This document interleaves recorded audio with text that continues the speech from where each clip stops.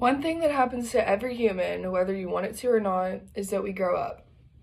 Growing up is a hard concept to grasp because when you get out of high school, or for me at least, when I got out of high school, it was like I wanted to hold on to all my friends and like make sure that everyone stayed in touch and that I didn't lose anyone and that things were just the same when we came back home from break and in high school I used to like be annoyed by my family and just I don't know like it was so different back then but when I went to college I gained such an appreciation for life and for independence and for growing up and just like becoming mature and becoming an adult because I was forced to do it.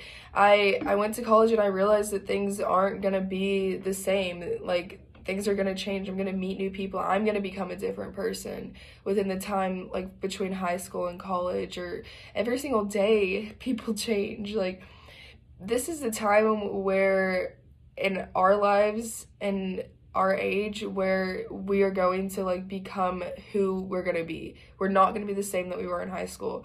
And I started to realize that and realize that like I need to grow up and be independent and not rely on other people for my happiness, for anything. And so I just kind of became okay with being alone and actually like like it more. Like I love being alone or sometimes, you know, like there's a balance, but it's just like it's good to like realize that because when I started coming over breaks and like I wasn't seeing as many people from high school, I stopped being sad about it, you know? I, I started like realizing that's okay. I'm making new friends in college. Like it's just how it happens. That that's just what life is.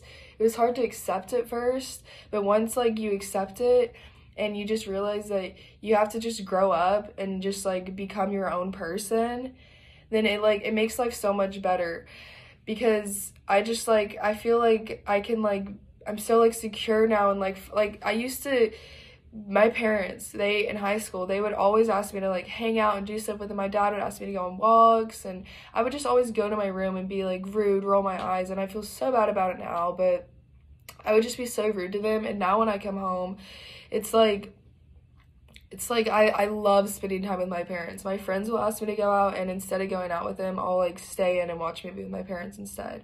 Or I'll be the one asking my dad to go on walks. And my mom's like literally my best friend now. I call her all the time and we just talk for hours about random stuff.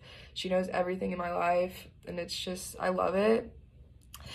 But basically, what I'm saying is that there is hard like it's hard to come to the realization that growing up is okay and that it's like because it, it's just kind of hard. It's a lot of change and it's it's a lot of like different things happening.